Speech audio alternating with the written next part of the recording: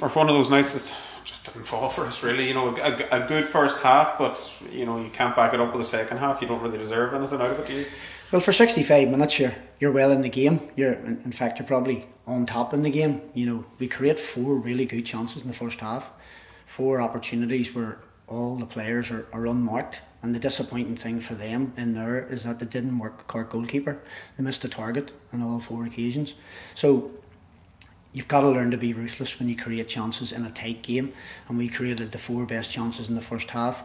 We were well disciplined, we were well organised, and it was a very difficult evening for Cork.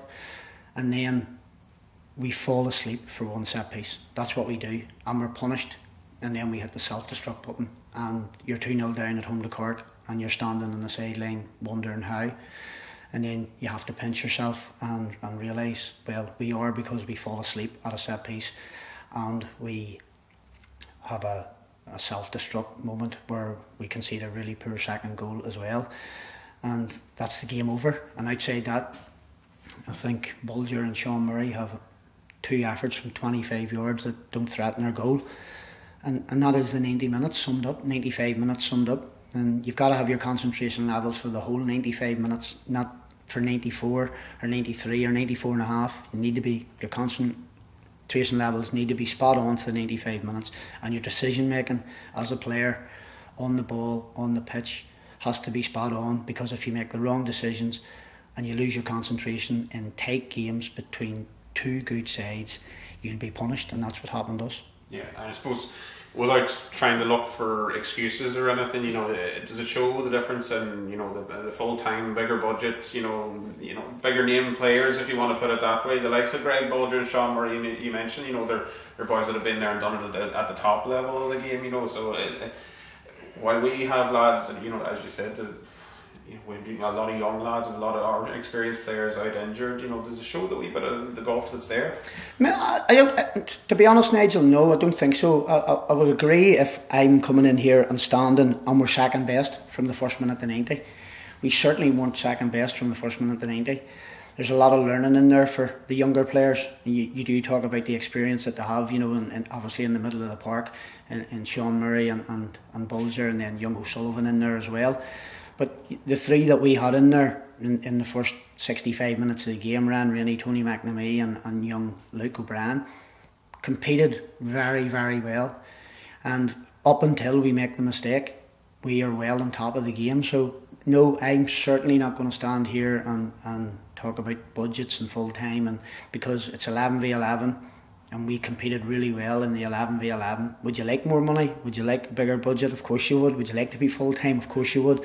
But that's the situation that we don't have right now at the moment.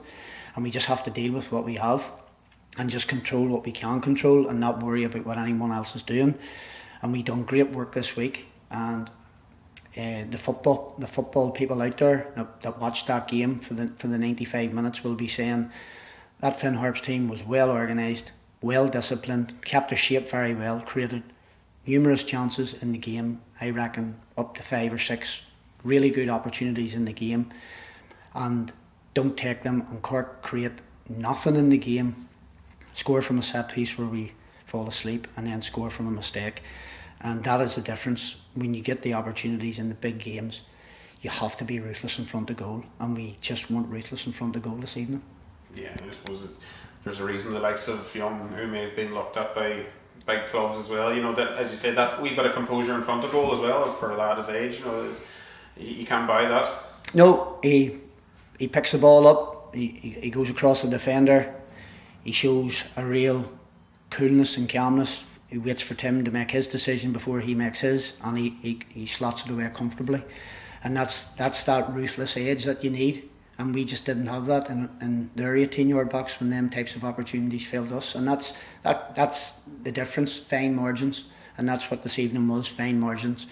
Uh, I'm devastated for them. Uh, I'm proud of each and every one of them of, with how they've coped with everything so far that they've had to cope with to put in a performance like that was was great, but at the end of the day, we get nothing out of it, and that's the hard thing for them. They've put so much effort into it. That they're, they're coming away from nothing and they're they're hugely disappointed in there. And I think they're disappointed because they know it was an opportunity missed because of the way they had performed. And that's something that they just have to learn to learn from. The next time that you're in a game like that and you create them opportunities then you have to be ruthless in front of goal to get anything from them especially in the games in the first division where there's so little between all the sides.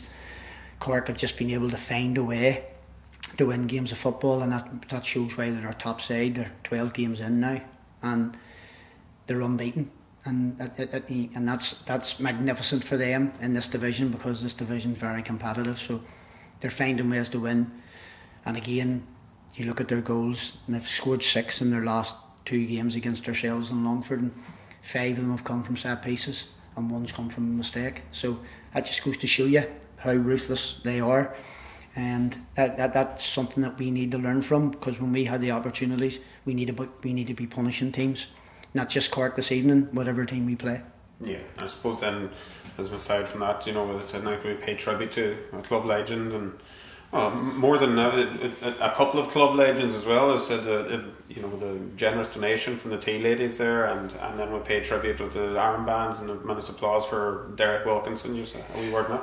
Yes, uh, the work that the ladies do in the in the tea room and they do over in the tuck shop, you know, they donated the football club six thousand euros there this week, which is phenomenal.